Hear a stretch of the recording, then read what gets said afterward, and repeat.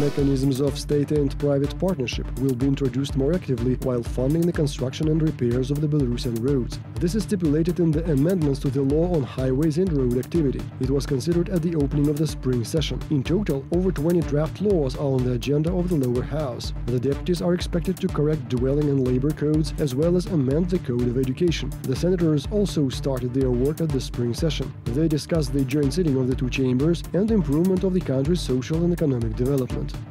The extension of the visa-free term via National Airport Minsk to 10 days is planned till the end of the year. This was reported by Deputy Minister of Sports and Tourism of Belarus. The regime is now in force for the Grodno and Brest regions of Belarus. The visa-free mode positively influences the economy and the political image of the country. Belarus has a big potential for the development of the sports and medical tourism. As of now, almost 97,000 citizens of 68 countries have traveled visa-free via the National Airport Minsk. The most of the tourists come from Germany, Poland, Italy, Great Britain, the USA, France, Sweden, the Netherlands, Latvia and Lithuania.